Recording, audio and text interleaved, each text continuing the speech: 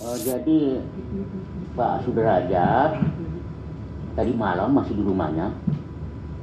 Kemudian tadi pagi juga eh, ada ketemu dengan kami, ya, Eh, dan eh, minta restu bahwa eh, siap akan menghadiri dan kami pun juga mendorong supaya menghadiri memenuhi panggilan KPK ini, begitu.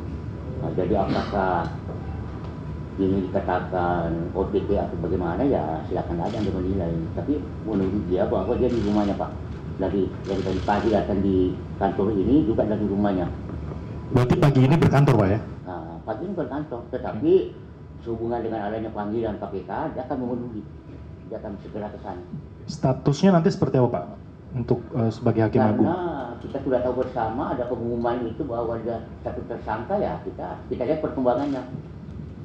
Kami hanya tahu juga baca dari dari media eh, bahwa Pak Sudrajat sudah ditetapkan tersangka Eh, dan dan minta supaya kooperatif untuk memenuhi panggilan KPK.